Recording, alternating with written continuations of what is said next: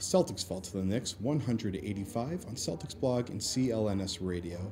Three quick points on tonight's game. Uh, the turnover battle just went as bad as possible for the Celtics.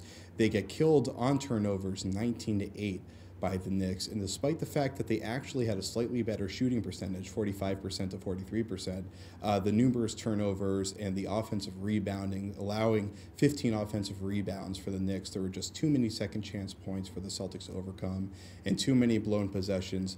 Uh, Jordan Crawford had a lot of turnovers. He had six tonight, as did Paul Pierce. Uh, and it was the guys that were really tasked with most of the ball handling or just getting caught throwing uh, kind of cross court passes that were getting picked off, leading the breaks.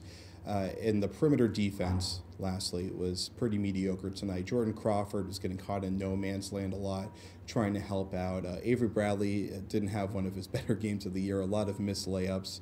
Uh, it just wasn't a good perimeter defensive night for the Celtics, and they needed that with KG being out for the next two weeks or so.